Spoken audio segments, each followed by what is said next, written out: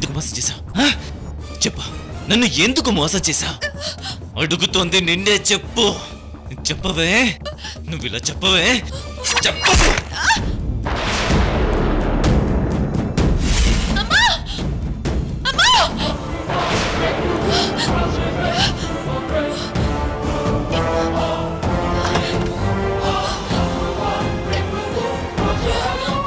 ఏమైంది నిశ్చల?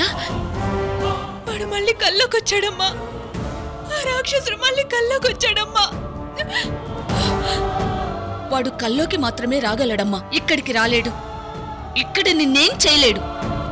నా కంఠంలో ప్రాణం ఉండగా వాణ్ణి నిన్నేం చేయనివ్వనమ్మా. భయపడకు. ముందు మంచినీళ్ళు తాగు.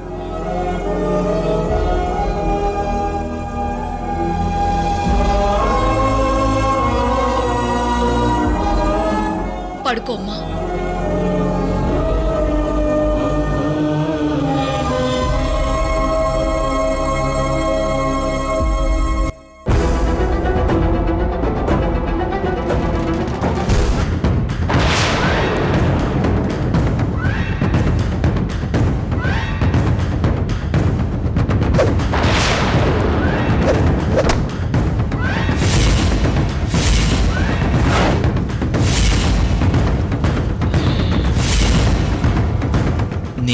మొదటిసారి నీ నుదుటి మీద ముద్దు పెట్టింది అక్కడే.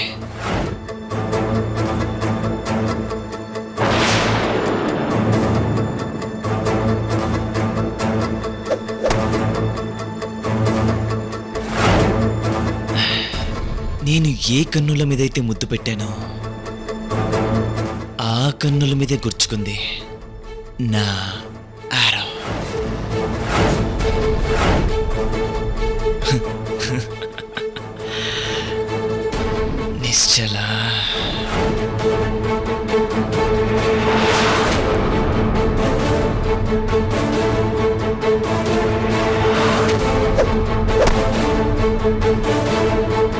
సూపర్.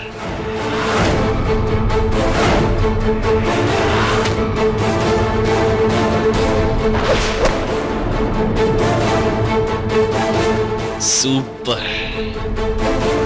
మొదటిసారి నీ పెదాల పైన నేను పెట్టిన మొత్తం ఇది వెళ్ళి కరెక్ట్గా అక్కడే గుచ్చుకుంది. Super. Super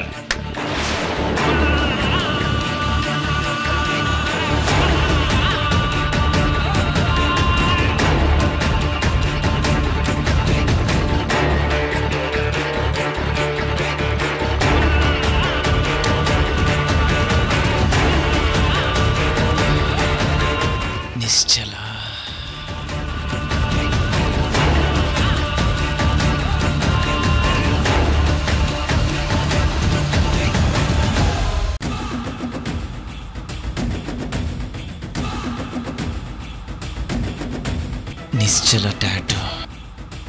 Tattoo వేసినప్పుడు చాలా నొప్పి వచ్చింది నిశ్చల. కానీ భరించాను ఇది జరిగిపోకూడదు కదా అని భరించాను. అలాగే నా నిశ్చల చెరిగిపోకూడదు అని భరించాను. కానీ నువ్వు నా నుంచి వెళ్ళిపోయావు నీ మీద నా గోల్ ఎప్పటికీ చెరిగిపోదు. నువ్వు నా నుంచి ఎప్పటికీ చెరిగిపోలేవు నిష్ఠలా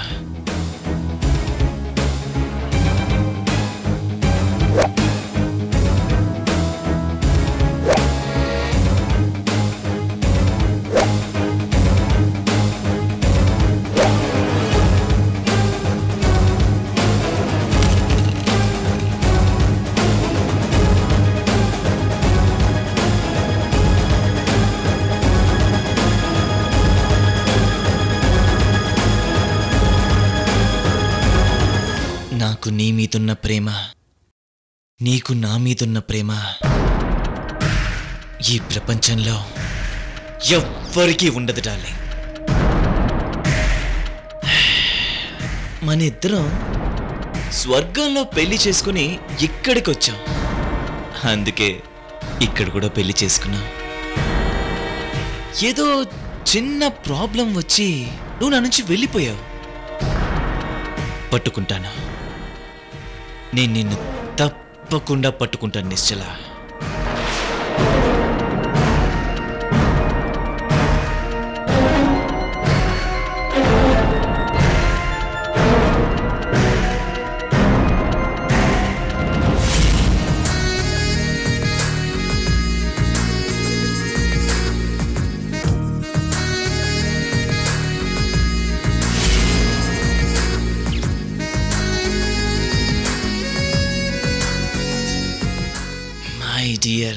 నిశ్చల. మై లవ్లీ నిశ్చల. అన్నా అన్నా అన్నా. అన్నా అన్నా. అన్నా. ఏంట్రా? అన్నా మీరు శకుంతల గారు నిశ్చల గారు ఒక పెళ్ళికి వెళ్ళారట కదన్నా అవును. అక్కడే మేడం గారు శకుంతల గారు మిస్ అయ్యారు. అవును. అక్కడ బస్టాండ్ల దగ్గర రైల్వే స్టేషన్ల దగ్గర సీసీ ఫుటేజ్లన్నీ పరిశీలించామన్నా. ఎక్కడా కనబడలేదు. కానీ వీళ్ళిద్దరూ ఒక ప్రైవేట్ ట్రావెల్ బస్ ఎక్కినట్టు.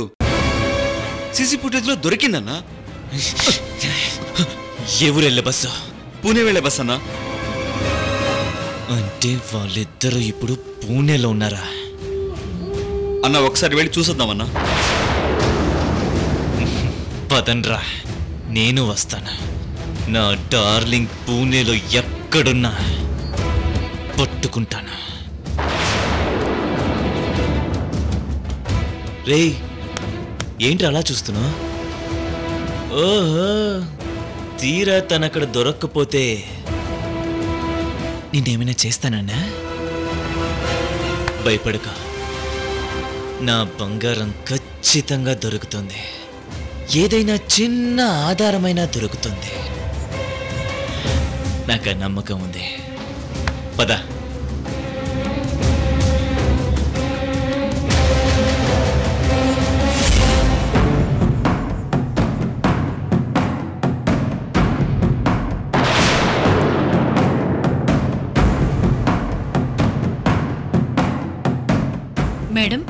కోర్ట్ అంతా సందడి సందడిగా ఉంది మేడం. వచ్చిపోయే జనాలతో ఆహ్లాదంగా ఉంది. ఏయ్ నోరు మూసుకోవే. నిన్నక్కడ జనాల్ని వర్ణించమండం లేదు. మన శత్రువులు ఎంటర్ అయ్యారా లేదా అని అడుగుతున్నాను.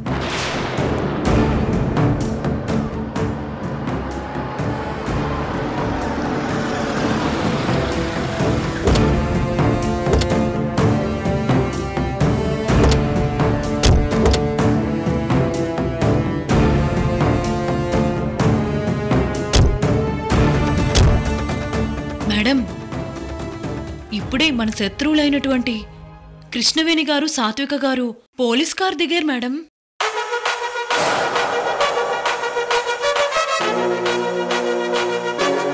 కార్తీక్ గారు ముకుంద్ గారు హీనంగా దీనంగా ముఖాలు పెట్టుకునున్నారు మేడం లాయర్ గారు కూడా వచ్చారు మేడం. మేడం ఇప్పుడంతా ఏం జరుగుతుందో మీరే లైవ్లో చూడండి.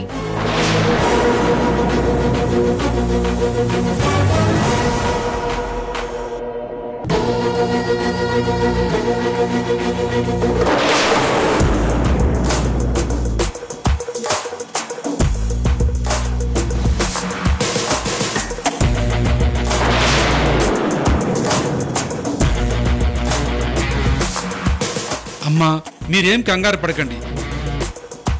మీకు బెయిల్ వస్తుంది. నేను చెప్పినట్టు మీరు కోర్టులో చెప్తే చాలు. మా ఆవిడకి ఇప్పుడు బెయిల్ రావటం ముఖ్యం లాయర్ గారు. జడ్జి గారి ఎదురుగా కోర్టులో ఎలా మాట్లాడితే మా ఆవిడకి బెయిల్ వస్తుందో చెప్పండి. తను అలాగే మాట్లాడుతుంది.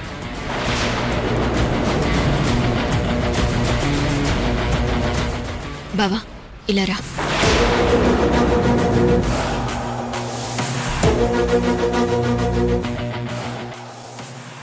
ఏడి మన లాయర్ ఇక్కడ లాయర్ కోసం ప్రయత్నించాను.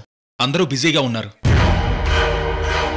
ముకుంద్ కృష్ణవేణికి బెయిల్ రావడం కోసం ఏ లాయర్తో మాట్లాడుతున్నాడో ఆ లాయర్ అయితేనే బెటర్ కదా అని ఆ లాయర్నే కాంటాక్ట్ చేశాను. అసలు నీ బతుకంతా ఆ కృష్ణవేణి ముకుందుల మీద ఆధారపడ్డమేనా? ఈ దేశంలో ఇంతమంది లాయర్లుంటే నీకు ఆయన కావాల్సొచ్చాడు? సాత్విక ప్లీజ్ అర్థం చేసుకో. మీ ఇద్దరి మీద ఒకే విషయం మీద కేసు బుక్ అయింది కదా. అందుకే ఒకే లాయర్ అయితే బెటర్ కదా అని. నువ్వు నాకు చెత్త కబుర్లు చెప్పకు.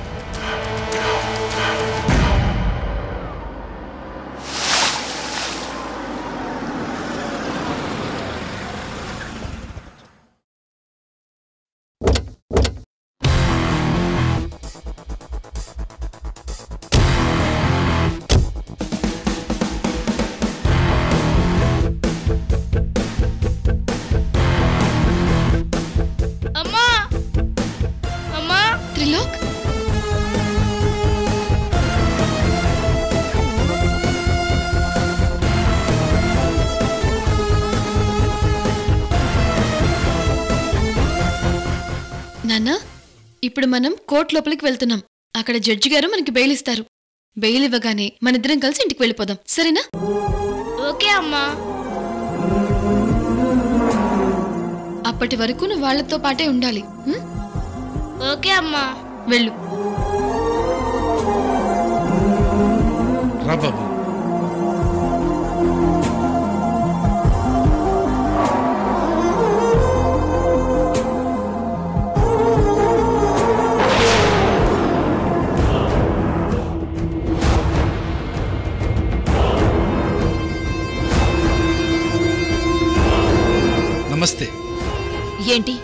మీరు కోర్టులో నేను చెప్పినట్టు చెప్పండి అమ్మా మీకు బెయిల్ తప్పకుండా వస్తుంది. చూడండి లాయర్ గారు నేను ఎవరు చెప్పినట్టు వినను.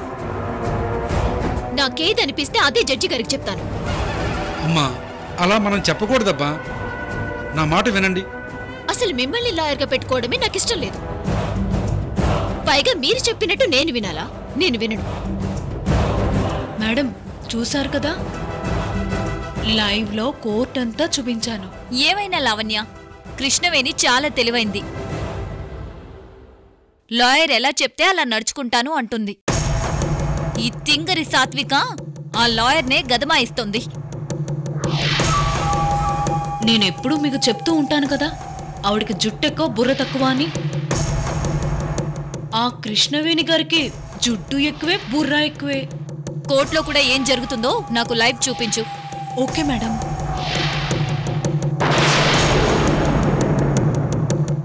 కృష్ణవేణి గారు టైం అవుతుంది వెళ్దామా? కానిస్టేబుల్స్ సాత్విక గారిని తీసుకురండి. మేడం మేడం పదండి.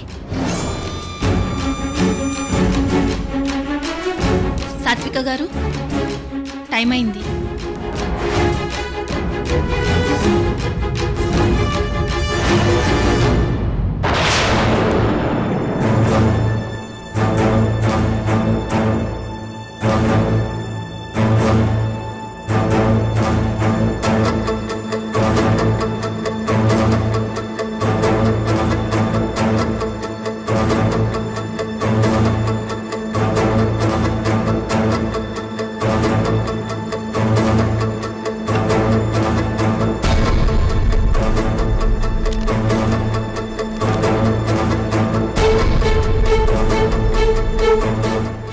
నేరస్తుల్ని ప్రవేశపెట్టండి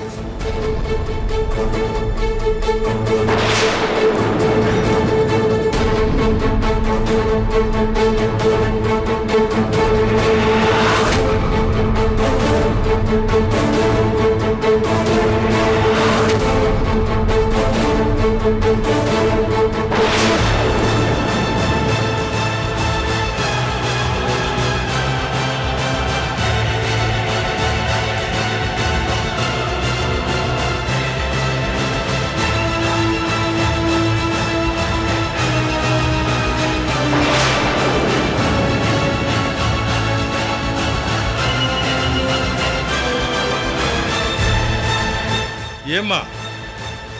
ఇలాంటి అగ్రిమెంట్లు చేసుకునేటప్పుడు చట్టబద్ధంగా చేయాలని తెలియదా?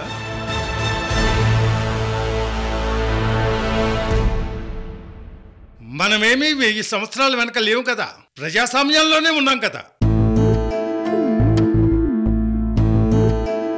ప్రజాస్వామ్యబద్ధమైనవి చెల్లుతాయని తెలుసు కదా. నా పక్కనున్న నా తోడికోడలు సాత్విక గారు తను తప్పు చేశానని ఒప్పుకుంటారో లేదో తెలియదు కానీ నేను మాత్రం తప్పు చేశాను. ఇలాంటి తప్పులు నేను రిపీట్ కాకుండా చూసుకుంటాను మెలాడ్ ఇలాంటి తప్పు చేసినందుకు నన్ను కోర్టు వారు క్షమించవలసిందిగా కోరుతున్నాను.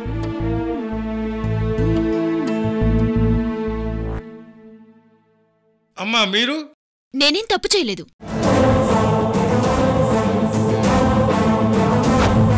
ఆవిడ డబ్బులిచ్చి కొనుక్కుంది. బిడ్డ ఆవిడకి అవసరం కాబట్టి ఆవిడ తీసుకుంది. అంటే ఇందులో మీ ప్రమేయం లేదంటారు? లేదు. మరైతే అగ్రిమెంట్ మీద సంతకం ఎందుకు పెట్టారు? ఆ, పెట్టాను. ఈవిడ గారు నన్ను ఫోర్స్ చేసింది. పెట్టమని నన్ను బెదిరించింది కూడా.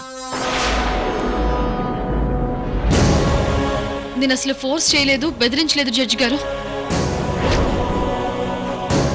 అబద్ధం చెప్తోంది. జడ్జి గారు నేనేమీ అబద్ధాలు ఆడడం లేదు. ఆవిడకి నా కొడుకంటే పంచ ప్రాణాలు ఆ పంచ ప్రాణాల్ని నా దగ్గర నుంచి తీసుకోవడానికి ఈవిడ ఎంతకైనా తెగిస్తుంది. నువ్వు సంతకం పెట్టి నీ కొడుకుని నాకు ఇవ్వకపోతే నీ అంత తేలుస్తాను అనంది. సాత్విక ఏం మాట్లాడుతున్నా? ఆ, జడ్జి గారు ఇంకో విషయం. సాత్విక ఇంకేం మాట్లాడుకో. నీకు ఇది మంచి పద్ధతిలా అనిపిస్తోందా? కృష్ణవేణి నిన్ను జడ్జి గారి ముందు ఎలా ఇరికిస్తాను? జడ్జి గారు అసలు నాకు నలభై కోట్లు ఇవ్వనే లేదు.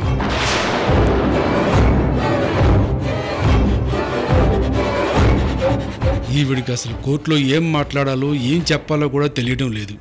మొత్తం కేసుని రివర్స్ చేసేలా ఉంది. ఏమ్మా? ఈమెకు మీరు నలభై కోట్లు ఇవ్వలేదా? మీ ముందు నేరం నేను ఒప్పుకున్నాను. అంటే నలభై కోట్లు ఇచ్చినట్లేగా? ఒట్టి అబద్ధం జడ్జి గారు. రౌడీలను తీసుకొచ్చి నన్ను బెదిరించి నా చేత డబ్బులిచ్చినట్టు సంతకం చేయించుకుంది.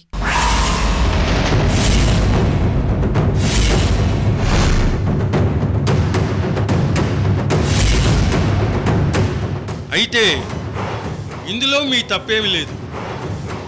కృష్ణవేణి గారు మిమ్మల్ని ప్రేరేపించడం వల్ల మీరు తప్పు చేశారని అంటున్నారు. అవును జడ్జి గారు. ఇలాంటి వాళ్ళకి బెయిలిస్తే సమాజానికి ఎంతో హాని. ముందు నా మీద పగబట్టి నన్ను ఏమైనా చేస్తుంది. నాకు బెయిలిచ్చి ఈవిడ గారికి మాత్రం బెయిల్ ఇవ్వకండి జడ్జి గారు.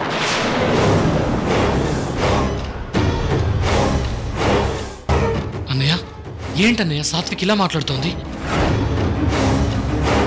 అది నాకు అర్థం కావట్లేదు. సిడబ్ల్యూసి వారు మరియు పోలీసులు మిమ్మల్ని కృష్ణవేణి గారిని ఎంక్వైరీ చేసినప్పుడు వారి రిపోర్టు ప్రకారం కృష్ణవేణి గారిని ప్రేరేపించిందే మీరన్నట్టు తేలింది. మీకు డబ్బులు అవసరమై కృష్ణవేణి గారికి మీరే ఆఫర్ ఇచ్చారని దానికి మీరు కూడా ఒప్పుకున్నారని ఈ ఎంక్వైరీ రిపోర్టులో ఉంది. అయ్యో లేదు జడ్జి గారు. వాళ్ళు కూడా కృష్ణవేణి వైపే మాట్లాడుతున్నారు. అసలు ఎంక్వైరీలో నన్ను మాట్లాడివనే లేదు. నాది తప్పన్నట్టు కృష్ణవేణిదే కరెక్ట్ అన్నట్టు వాళ్ళు మాట్లాడుతున్నారు జడ్జి గారు.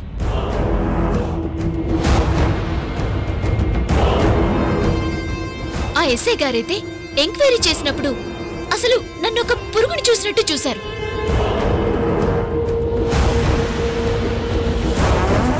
సిడబ్ల్యూసి ప్రతినిధిని ఎస్ఐ గారిని ఫోన్లోకి ప్రవేశపెట్టవలసిందిగా కోరుతున్నాను. ఏంటి సాత్విక అలా మాట్లాడేశావు? నా కేస్ని నేనే వాదించుకుంటాను. నీకెందుకు? నువ్వు లాయర్ని అరేంజ్ చేసుకున్నావు కదా. నీ తరపున తను వాదిస్తాడులే.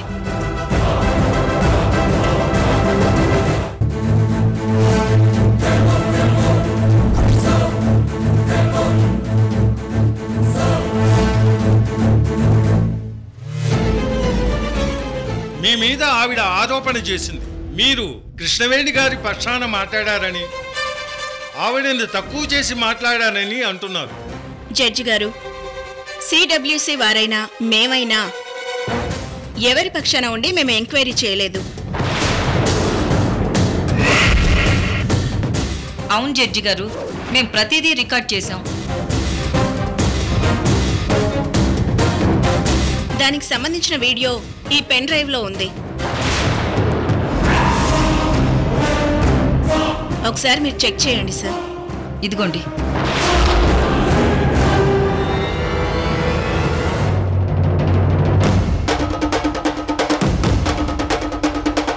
సాత్విక నీకు కొంచెమైనా జ్ఞానం ఉందా? వాళ్ళు మనల్ని ఎంక్వైరీ చేసేటప్పుడు అంతా రికార్డ్ చేస్తున్నాము అని చెప్పారు. ఇప్పుడు ఆ రికార్డు జడ్జి గారికి ఇస్తే జడ్జి గారికి నీ మీద మంచి అభిప్రాయం వస్తుందా?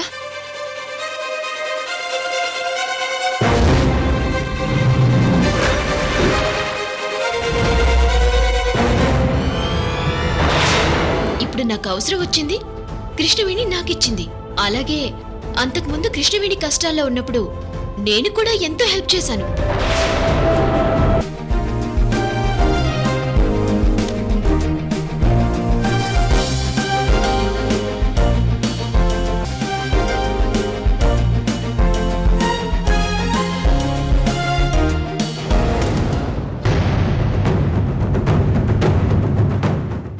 గారు కోర్టును తప్పుదారి పట్టించే విధంగా మిమ్మల్ని ఎంక్వైరీ చేసిన వారి మీద ఈ విధంగా ఆరోపణ చేయవచ్చా?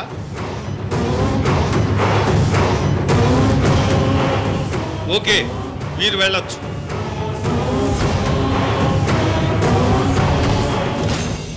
మీరు చెప్పిన దానికి ఇందులో రికార్డ్ చేసిన దానికి అసలు సంబంధమే లేదు.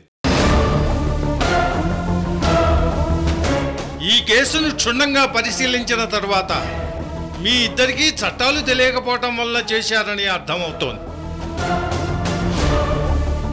మీరు తెలిసి చేసినా తెలియక చేసినా నేరం నేరమే కాబట్టి ఎంక్వైరీ చేయగా మీరు నిజమని ఒప్పుకున్నారు కాబట్టి మిమ్మల్ని దోషులుగానే పరిగణించడం జరుగుతుంది. మళ్ళీ ఇలాంటి తప్పులు రిపీట్ చేయనని కోర్టు వారికి విన్నవించుకున్నారు కాబట్టి ఆవిడకి బెయిల్ మంజూరు చేయటమైనది. ఆవిడ చేసిన తప్పును ఒప్పుకోవటం అటుంచి నేరం ఒప్పుకునే విషయంలో కోర్టును కూడా తప్పుదారి పట్టించినందుకు ఆమెకు బెయిల్ నిరాకరించటమైనది.